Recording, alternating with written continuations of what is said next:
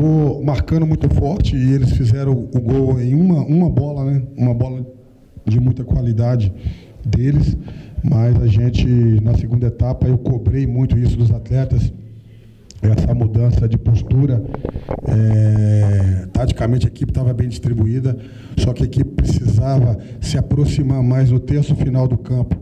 Precisávamos, né, principalmente o Rafael, o Marcão, e Francis, é, Pituca, tinham que se aproximar mais, estavam muito distantes, muito preocupados né, com a questão da marcação e deixou um pouco a desejar nesse sentido. Mas graças a Deus, no segundo tempo a gente conseguiu, né? E fomos também ousados né, em relação a isso, né? Quando a gente sentiu o Fernando estava amarelado, a gente é, optou por passar o Pituca ali para jogar, trocamos a posição do Bilhão com o Samuel, ou seja, uma equipe que, que tem trabalho, né? Que tem trabalho, que tem treino, que tem uma diversidade muito grande. Então a gente usou e abusou dessa diversidade, né? Trocamos os atletas mas é, fica um sentimento né, de, de um que, que dava para ir além, mas é, melhor é, esse sentimento nosso de tristeza hoje por não ter passado do que a vergonha de não ter tentado. Né? A gente tentou, a gente foi brioso, não só hoje, a reação do torcedor nosso aqui dentro do, de, do Itaquerão diz bem o que foi o nosso trabalho e a nossa né, e o, e o nosso time no Paulistão. Um Paulistão que todos agora pode afirmar é o melhor desde 2001, melhor Paulistão, é, sete jogos invicto, é, uma série de fatores, né? Um jogador com um amarelo vermelho, isso mostra um equilíbrio fantástico, né? Você dentro de 14 partidas teve um jogador que teve um, um vermelho oriundo de um amarelo, que foi o Wesley. Então isso e uma equipe que pega muito, que, que, né, que busca muito é, dignificar as coisas do clube e hoje o fez com muita maestria e o resultado disso foi a reação do nosso torcedor que está de parabéns, que veio aqui, fez uma grande festa e ocasionou até ali um embate bom para a torcida do Corinthians aqui dentro. Bom, Marcelo, é, final de, de competição, missão cumprida. É, quais eram assim os seus primeiros objetivos que já foram alcançados, obviamente, e o que, que você pensava passo a passo dessa competição? Como que você analisa o Botafogo como um todo? Olha, eu, eu falei para eles que é, muita satisfação minha, né, é, em colocar o pé dentro de um clube e poder é, aproveitar parte grande do elenco que já tinham seus compromissos aí e trazer pontual atletas que só fizeram dignificar a camisa do clube. Né? Então, o objetivo realmente primeiro era a permanência na elite, depois classificar e na terceira do rondo aí era passar hoje. Jogamos lá em Ribeirão e jogamos hoje o segundo tempo para passar de fase, para ir para a semifinal realmente. Né? Tanto que o, no final do jogo o, o goleiro do Corinthians estava, né, o Cássio, né? Eu acho que a grandeza deles me obriga a falar o nome. Né? O Cássio, que é um goleiro de nível de seleção, estava fazendo ali é, alguns, ganhando alguns minutos preciosos, porque o Botafogo estava já rondando e buscando seu empate para levar para os pênaltis. Mas o momento agora é, é de saber que o dever foi cumprido sim dentro de uma humildade grande do nosso, do nosso trabalho.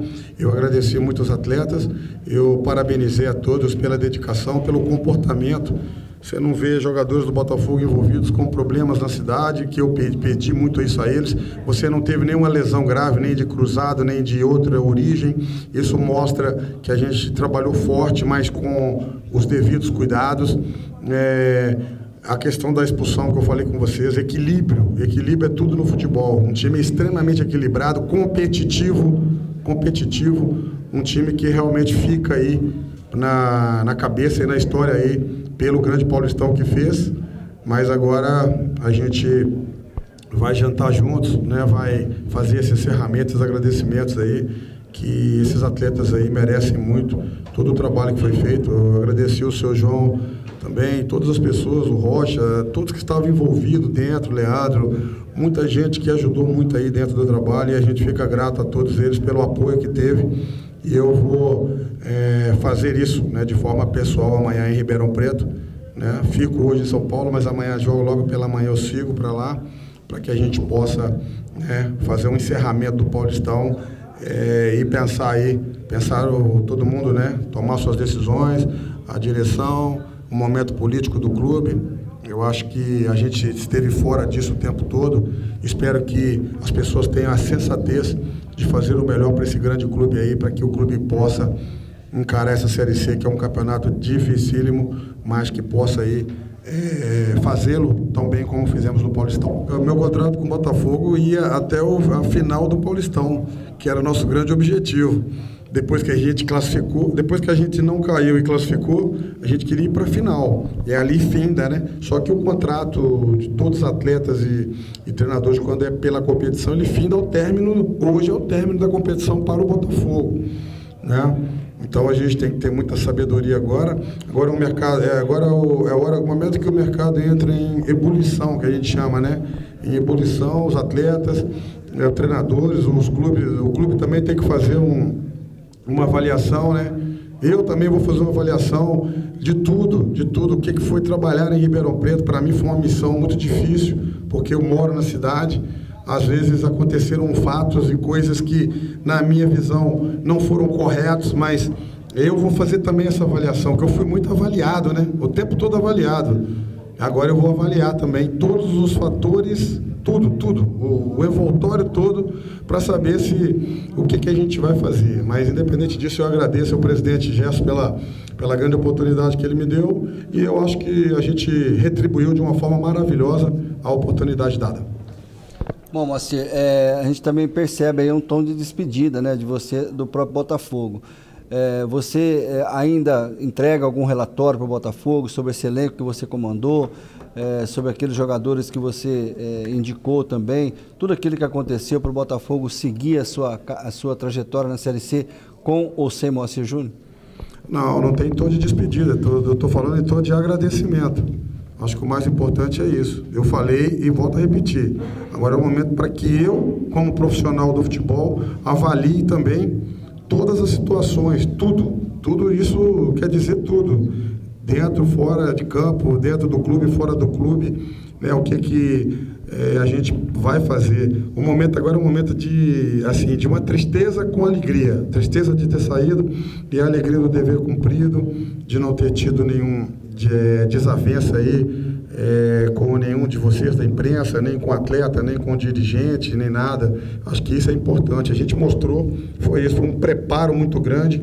É, eu queria, né, eu, durante todo o campeonato, eu fui o último a sair do Botafogo ali. O Altair abriu o clube e eu fechava. Sempre, 9, 10 horas da noite, a gente estava lá e o resultado disso foi um produto muito bacana, muito legal. Um time competitivo, um time que honrou as cores do. Acho que tudo isso que o, que o presidente, quando ele contrata um treinador, ele quer isso, que o, que o treinador. É, use é, e abuse de, de, uma, de um grande comprometimento para com o seu trabalho e cuide do clube dele. Eu fiz isso da minha parte, tenho total consciência disso e grato demais ao torcedor que nesse momento final, depois que a gente não, não caiu e classificamos, se manifestou muito forte em relação a mim na cidade. Eu, eu gostei disso, isso para mim é um, prazer muito grande, né? Do que você é, do que ser o contrário, mas eu não, não é tom de despedida, agora é tom de avaliação, é tom de, de passar relatório realmente. Né? Todos nós que temos o um contrato para o Paulistão, ele finda hoje. Agora é o momento de, de ver o que, é que acontece. Todos os atletas aí estão sendo também, é, quem jogou o tempo todo aí, está sendo, até jogadores que não jogaram estão sendo é, pleiteados aí por outras equipes, mas eles sabem que o Botafogo hoje é, deu a eles uma condição muito boa de trabalho, a todos nós, né? Eu, particularmente, eu já agradeci no vestiário e, e agora torno público o meu agradecimento. Tivemos todas as condições para trabalhar. Eu tive uma liberdade muito grande, um respeito todo da, da, da direção e, da, e, das pessoas, dos funcionários aí, que às vezes as pessoas, né, o seu Jurandir, que toma conta do clube, a dona Teca, que, a, que administra a concentração nossa lá de uma forma maravilhosa, o Vinícius, pessoas que vocês não veem, que vocês não falam, mas que foram primordiais é, para que nós chegássemos até aqui com uma dignidade muito grande. Então, o momento agora é esse, é de agradecimento e de tranquilidade nesse processo aí, para a gente ver o que, que acontece.